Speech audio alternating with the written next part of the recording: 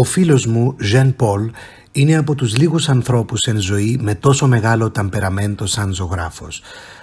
Όπως έχει κάνει και ο Ραούλ Ντουφί, ο Ζεν έχει δημιουργήσει το δικό του μοναδικό ύφος και τη δική του εικονογραφική γλώσσα.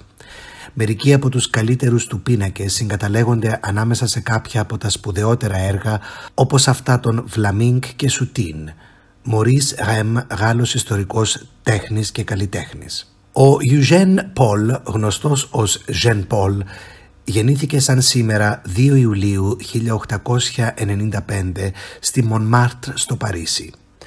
Ο Ζεν Πολ άρχισε να ζωγραφίζει σε πολύ μικρή ηλικία χωρίς να λάβει ποτέ καλλιτεχνική εκπαίδευση. Παρόλο που το ταλέντο του ήταν μεγάλο, ήταν ο ακροτηριασμός του ποδιού του κατά τη διάρκεια του Πρώτου Παγκοσμίου Πολέμου που καθόρισε το μέλλον του ως καλλιτέχνης. Κατά τη διάρκεια της ανάρρωσής του στη Μονμάρτη αφοσιώθηκε στη ζωγραφική η οποία έγινε το πάθος του και το προστοζήν του για σχεδόν 60 χρόνια.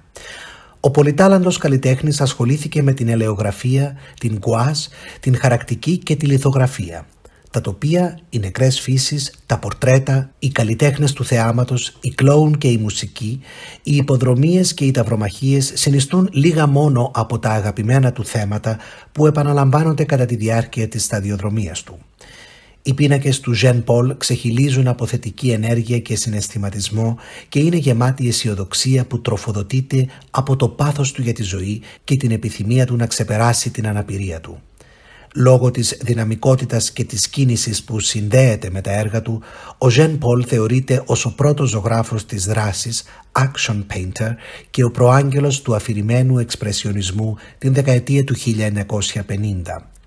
Για να τιμήσουμε τη ζωή και το έργο του Ζεν Πολ, επιλέξαμε το έργο «Σκηνή Ταυρομαχίας», δεκαετία του 1950, γκουάς σε χαρτί, από την συλλογή του Παρισιού της Λεβεντίου Πινακοθήκης.